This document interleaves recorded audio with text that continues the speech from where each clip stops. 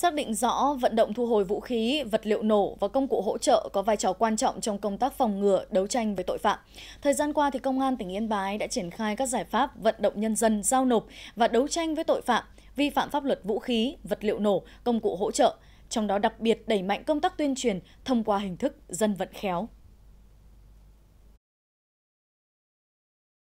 Do tập tục và đặc điểm môi trường sinh sống gần rừng, nhiều người dân trên địa bàn xã Ngòi A, huyện Văn Yên, tỉnh Yên Bái có thói quen lưu giữ và sử dụng súng tự chế trong đời sống hàng ngày. Vì vậy, sau nhiều thời gian tuyên truyền như thế này, của công an huyện Văn Yên đã thực sự nâng cao ý thức của người dân trong việc sử dụng vũ khí tự chế là nguy hiểm, thậm chí còn là vi phạm quy định của nhà nước.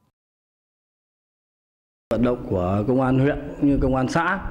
thì tôi cũng ờ, hiểu biết hơn về cái tác hại của khẩu súng. Nay tôi cũng ờ, để bảo đảm cái ờ, trật tự an ninh trong khu vực cũng như gia đình, tôi cũng xin nộp lại giao nộp lại khẩu súng cho cơ quan công an.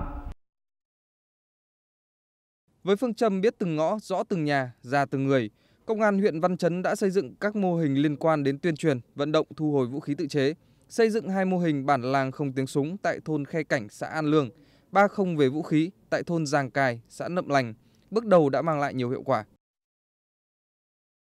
Công an các xã tăng cường hơn cái công tác quản lý vũ khí vật liệu nổ trong cái 6 tháng, 7 tháng thì chúng tôi đã thu hồi được hơn 150 cái khẩu súng tự chế các loại.